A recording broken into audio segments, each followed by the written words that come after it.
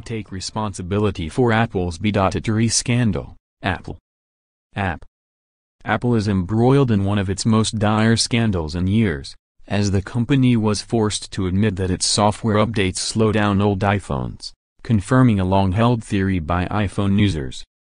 According to Apple, its software updates can make apps slow to launch, slow down the smoothness of scrolling through and feed, and take other performance hits. Apple made a rare public apology on its website on Thursday about the issue, saying the reason for the software slowdown was to protect phones with older batteries which can suddenly shut down. The public apology is technically detailed, relatively candid, and comes with a year-long discount for replacement iPhone batteries. But one thing it's missing is a signature, the apology comes from Apple, and it's not signed by of its high-paid executives, like Apple CEO Tim Cook. An apology like this one, which acknowledges a breach of trust with users, needs to come from a person, not a corporate communications department. There needs to be a human name on the apology, because humans behind the decision ultimately decided not to tell customers. To date, no Apple executives have publicly commented on the scandal. Here's one question for them. When Apple's elite executive team met to discuss the update that would slow down older iPhones, did anyone bring up the possibility that the move could increase iPhone upgrade rates? Making a public apology seems like part of the job responsibility for a CEO.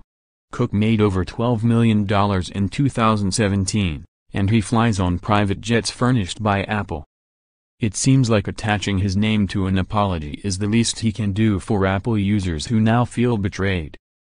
One of Steve Jobs' famous letters to customers. Apple. Cook has signed letters on Apple's website before, so it wouldn't be unprecedented. In February 2016, he posted a message to our customers on Apple's website. It's signed Tim Cook. He felt that Apple users needed to hear from him why the company was resisting an order from the FBI to help it break the encryption on an iPhone used by a terrorist in the San Bernardino attacks. It was a fair use of Apple's megaphone to communicate its position on an issue that directly affects it.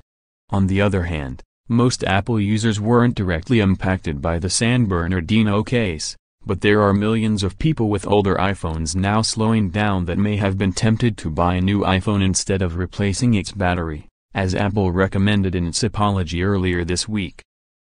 When Apple took away Google Maps on the iPhone and replaced it with the inferior Apple Maps for purely business reasons, not user experience reasons, Cook signed that letter apologizing for the fiasco. Although it's not on the Apple website anymore, you can still see the URL, letter from Tim Cook on Maps. Apple founder and late CEO Steve Jobs was also famous for writing lucid, jargon-free messages to Apple customers, which may have contributed to the closeness many early Apple users felt to the company. Take one of his last letters, Thoughts on Flash, which is still on Apple's website. Users at the time were upset that iPhones weren't going to run Adobe Flash, which powered many interactive websites at the time. His writing is clear, direct, and honest. He acknowledges there are downsides to his decision, like the fact that iPhone users couldn't play Flash games. But ultimately, Jobs made a case that Flash didn't belong on mobile devices, an argument that's only seemed stronger in retrospect. Compare that to Apple's first statement on the slowdown issue, issued by a spokesperson, which has a lot of weasel words like the phrase smooth out instantaneous peaks for what it was really doing, throttling the top speed of older devices. When a millionaire executive takes responsibility for a piece of communications to its customers, you get more honest and direct writing. Instead, Apple's leadership is hiding behind its brand.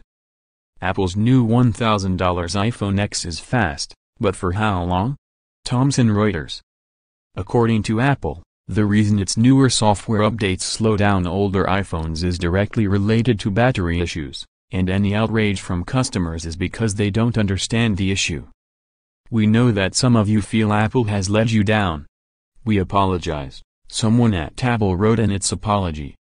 There's been a lot of misunderstanding about this issue, so we would like to clarify and let you know about some changes we're making. According to Apple, the misunderstanding relates to changes Apple made in early 2017 to prevent unexpected device shutdowns. Batteries get worse over time, and after a while, some older iPhones were randomly shutting down with 30% battery life left. Here's a bit of perspective, though. Apple wouldn't have addressed the shutdown issue if it wasn't from pressure from the Chinese government. In late 2016, a Chinese consumer watchdog called the China Consumers Association started making noise about Apple's random shutdown issue. Eventually, Apple said, again unsigned, that the battery issue only affected a very small number of iPhones manufactured between September and October 2015, and offered battery replacements. In fact, when Apple gave additional details about this issue, it was posted on Apple's Chinese website. But the Chinese consumer watchdog continued to press the issue, and asked for Apple to replace all faulty batteries. Apple eventually made the software fix that slowed down phones with older batteries in early 2017. It didn't even tell customers that it had made the tweak, again, in an unsigned comment from an Apple spokesperson. Part of the reason why so many Apple customers feel betrayed by the revelations of the past two weeks, even going too far as to start over 15 lawsuits, is that it feels like Apple continues to hide things. Apple's traditional approach to public relations is only making it worse, and has made this entire narrative unclear dating back to 2016. I personally believe Apple's explanation, there are difficult choices that need to be made when batteries get old, and Apple chose one that would optimize for as few shutdowns as possible. I think a lot more Apple customers would buy that explanation, too, if they heard it coming from Tim Cook. Exclusive free slide deck The next smartphone by the BI Intelligence research team. Get the slide deck now.